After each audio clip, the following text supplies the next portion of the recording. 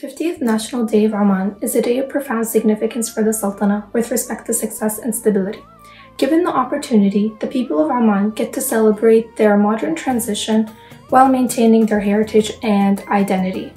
Extending my distant regards to the people of Oman and the great efforts the leaders continue to portray. Happy Oman National Day.